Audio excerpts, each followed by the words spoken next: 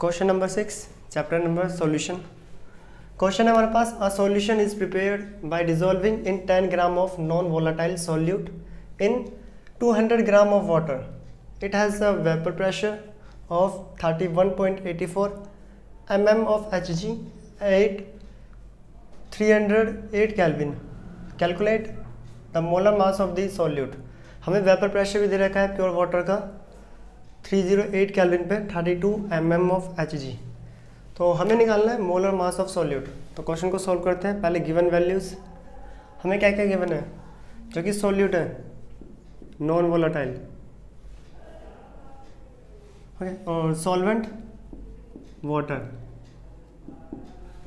लिख भी देते हैं। सॉल्वेंट है वाटर सॉल्यूट है non volatile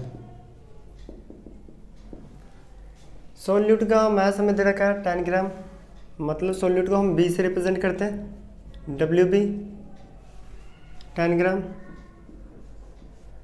M B solute का मोलर मास हमें फाइनली कैलकुलेट करना है।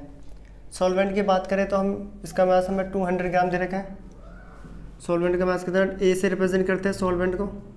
इसका मास 200 ग्राम है। अगर मैं मोलर मास की बात करूँ वाटर 18 ग्राम मोल इनवर्स आगे बोला था it has a vapour pressure of 31.84 mm of H G solution का वेपर प्रेशर दे रखा है। वेपर प्रेशर ऑफ़ सॉल्यूशन कितना है? 31.84 mm ऑफ़ एच जी और प्योर सॉल्वेंट मतलब वाटर का दे रखा है हमें पी नोट सॉल्वेंट को नोट से लिखते हैं। कितना है? Thirty two point sorry thirty two M M of H G हमें मोलर मास निकालना है। ये सारी values R L V P जो कि हमने सॉल्यूशन चैप्टर में पढ़ा है, उसी कंसेप्ट से हो जाएगा। फॉर्मूला होता है P naught minus E S upon P naught equal to W B upon M B M A into में डब्ल्यू ए